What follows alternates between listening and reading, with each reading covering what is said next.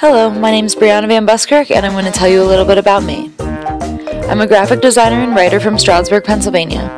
I have Bachelor of Arts degrees in both graphic design and English from Moravian College, and I'm currently working on a master's degree at East Stroudsburg University.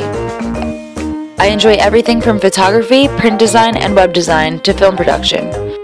I became really career oriented while at Moravian College. I've always loved art and writing and knew that the combination would lead me on the right path.